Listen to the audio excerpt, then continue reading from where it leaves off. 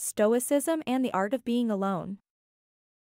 Since ancient times, the Stoic philosophy has provided a framework for living a virtuous life characterized by self control, fortitude, and detachment from external circumstances. One of the key tenets of Stoicism is the ability to find contentment in solitude, a skill that is increasingly relevant in our modern, hyperconnected world. The leading schools of Stoic thought offer profound insights into the art of being alone. The early Stoa and the ideal of self-sufficiency.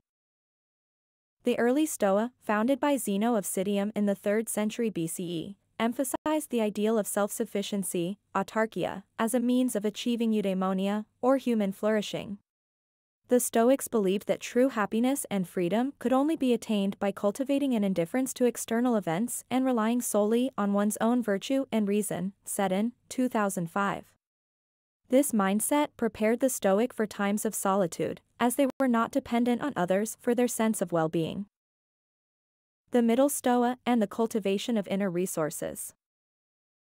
The Middle Stoa, represented by thinkers like Panaetius and Posidonius, built upon the early Stoic teachings by emphasizing the importance of cultivating one's inner resources.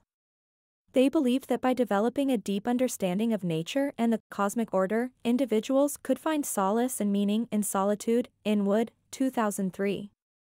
This allowed the Stoic to see themselves as part of a larger whole, transcending the need for constant human companionship. The late Stoa and the practice of negative visualization. The late Stoa, exemplified by figures like Seneca, Musonius Rufus, and Epictetus, introduced the practice of negative visualization, premeditatio malorum. This involved actively contemplating potential misfortunes, including the loss of loved ones and the experience of solitude, in order to mentally prepare for such occurrences, Pigliucci, 2017. By embracing the possibility of being alone, the Stoic could face such circumstances with equanimity and resilience.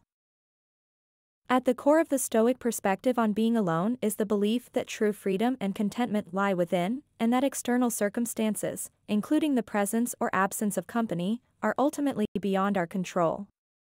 By embracing solitude as an opportunity for self-reflection, philosophical contemplation, and connection with nature, the Stoic can find profound meaning and fulfillment in moments of aloneness.